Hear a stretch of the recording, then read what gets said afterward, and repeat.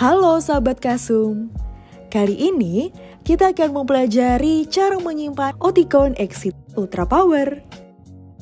Pertama-tama, sediakan kotak dan drying pellet untuk menyimpan alat bantu dengar.